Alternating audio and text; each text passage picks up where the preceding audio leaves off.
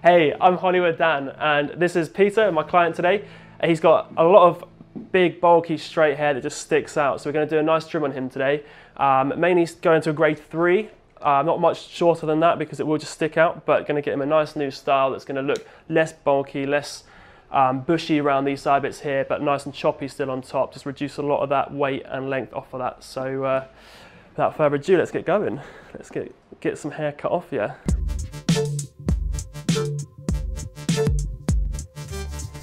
First of all, I'm just going to go in and do my grade three, get all that bulk off.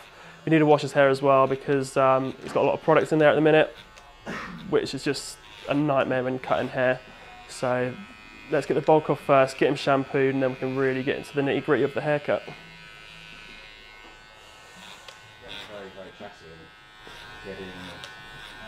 yeah, more. It's, it's, what's more annoying is our uh, rescue.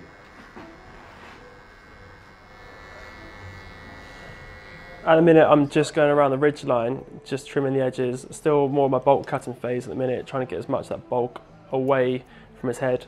Um, you got to be really careful though and keep looking in the mirror.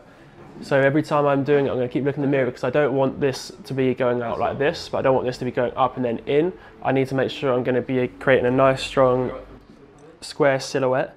Um, so I tend to try and pull out the sides and then overextend it a little bit so it gives me a little bit of an arch that I can then just clip or scissor over comb off afterwards to blend that out. Um, it's more like topiary doing this sort of hair. You just you just got to cut it a little bit by bit, but not by taking too much off. Because once you're taking it off, it could ruin the whole shape of the head.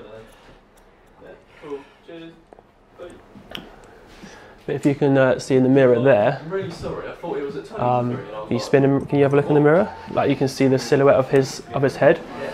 So from the mirror, that's all coming out at this angle here. That's why I said I was like, I think you're getting really mixed. It So I'm creating this sort of shape with it. Yeah, I want to see myself in the mirror. though. No, was like, no, I'm really I sorry. want to create that kind of shape. I was like, nine. So I don't want to go too far out, but I don't want to go too far in. So I'm just going to cut a profile in, going through the head before I make it choppy and messy.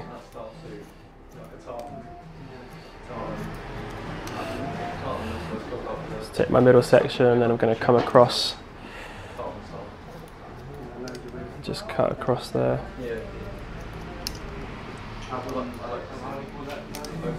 tend to just start arching my fingers as well on the ends just to round off slightly. You don't want it too round, but if I just, you can overextend the hair, so bringing it up and bringing it up.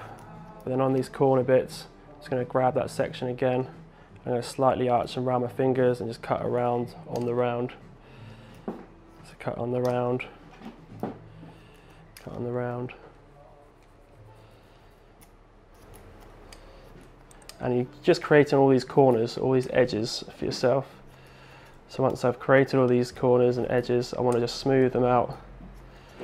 The way I do that is just by going through that corner. You see I've got that corner throughout the whole hair. So I just want to get that out by arching my fingers and going round. So a lot of this around the back here is still too bulky. So we're going to just um, blow dry it first and then start clip over combing all this section out here because there's still too much hair, too much bulk.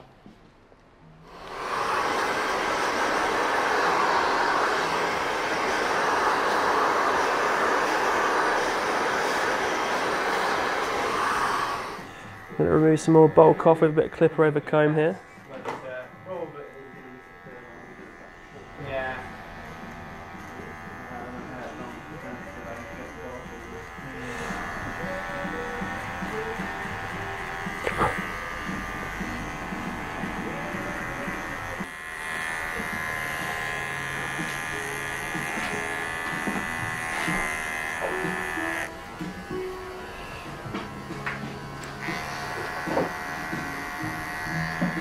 So I'm at the minute just going over very lightly with my grade 4.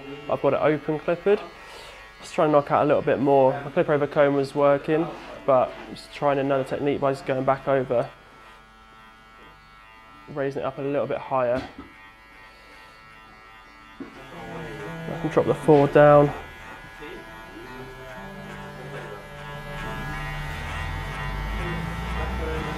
We usually do grade three on your hair. Just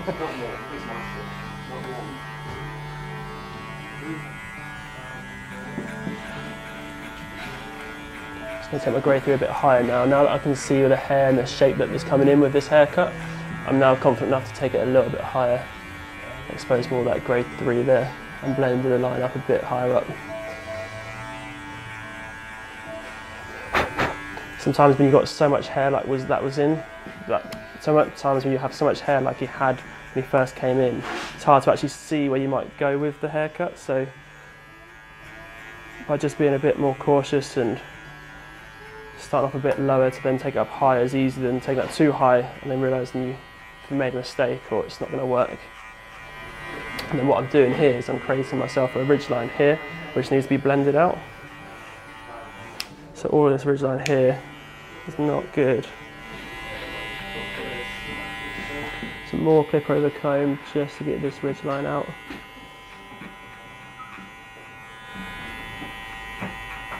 Blend in nicely with the crown. What I'm going to do is just go over with a grade 4 and go down the head, pick up any other little bits before I start using a bit of scissor over comb.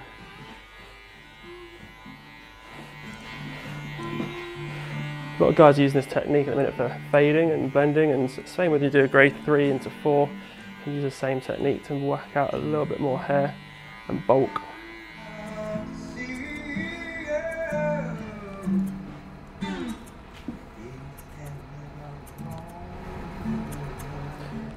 just around the bottom, because we've done a grade 3, it's still quite long around here, so I'm going to go in with a grade 2 and just go down with it just to blend out this very bottom edge so it's not too long. So create a nice stronger, you see his hairline over here, we just want to create a stronger hairline for him. But we want to just get a bit more texture through the top and reduce that down a bit more.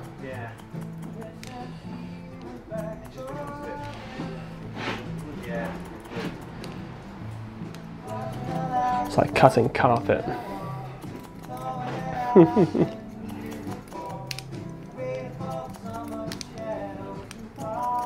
I'm just basically checking all my work and checking what I've, checking what I've got. And if I look in the mirror, I can see there's certain areas around here I'm not too keen on.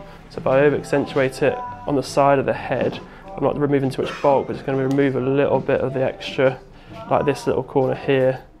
That could be just kicking that that out.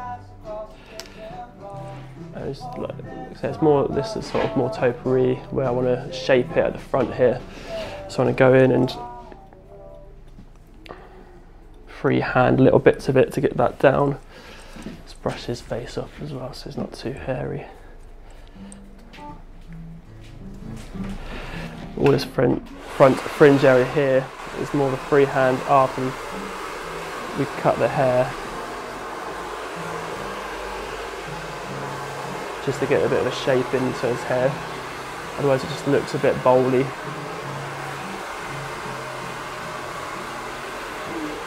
We've got a little bit of a cow's cowslick area here. So we want to make sure we reduce some of this bulk here.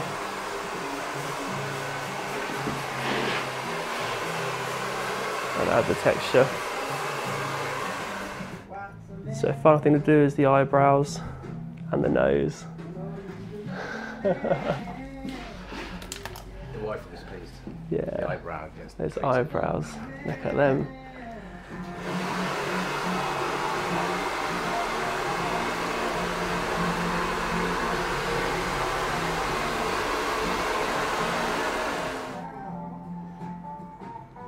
Ah. So this is a good way of getting the middle, middle bit of the brow out.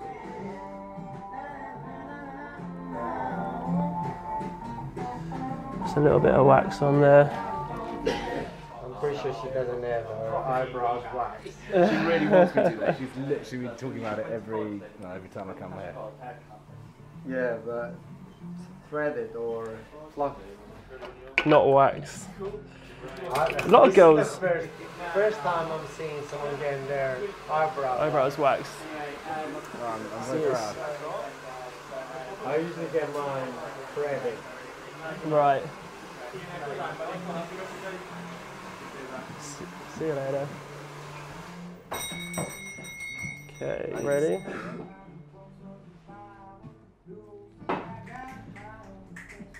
I'll just call him the machine. You ready? Three, two, one.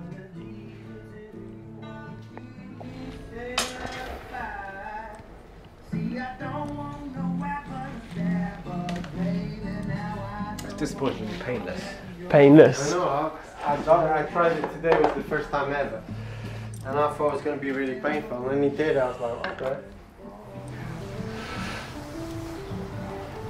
Amazing what product can do when you've got fluffy hair like that. It just changes it, doesn't it? But you need a good base haircut there for it to actually work and look good. Like, come out of the shower, wash your hair, it's like Yeah, same head and It then is, isn't it? It looks alright. All your hard work. Right, you happy? Yes, yes, let's do it. Happy? Very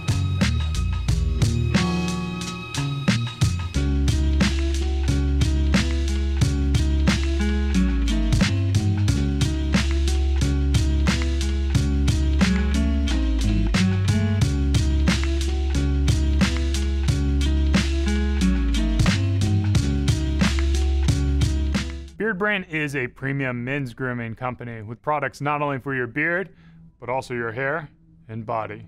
Do yourself a favor and head over to beardbrand.com and take care of yourself.